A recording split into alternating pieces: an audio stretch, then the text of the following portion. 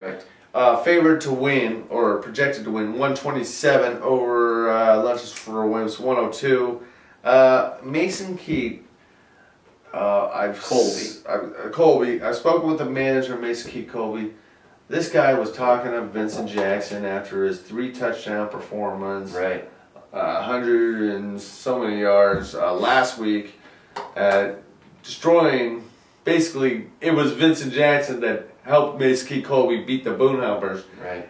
Plugs him in tonight, and three points.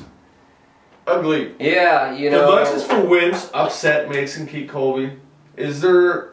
No, lunches for wimps is awful. They won't win another game, and they will be under review. Whoa, whoa, whoa! whoa. Mason Keat Colby, however, is riding a lot on this Vincent Jackson. We pulled up those numbers before the show.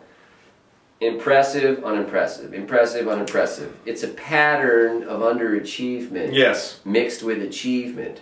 I don't know what that means going forward, whether he's going to figure out achievement or underachievement, but one of the, one at one point he's going to pick one and stay consistent. Yeah. And I'm starting to think it's going to be underachievement. We watched him not go for a ball in the end zone tonight that cost him really the game, a pick. Was that uh? That was either a guy didn't play. know where the Weirdest ball was play. supposed to be, Yeah. or he wimped out, or he, or he's just not a very good player. None. You yes. may want to sell low and cut your losses with Vincent Jackson. Well, it's not our job as uh, objective analysis to, uh, you know, tell people what they should do with their roster.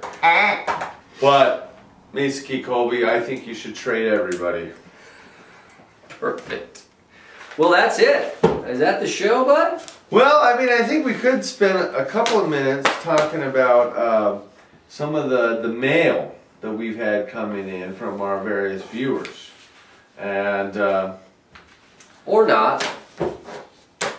no, I mean, You know, the Ask Bud segment was supposed to be this week. Uh, actually, last week, but the show was canceled. So the the mail was, or the Ask Bud questions were a little dated. So we're going to promote it this week and do our Ask Bud segment next week. That was something we wanted to get covered here today. So, yeah, again, if you submitted your queries last week for the Ask Bud segment, be sure to. didn't uh, happen. they're they're they're a little dated now. We all we, we put them aside and we'll, we'll accept those new ones here going forward for the next show.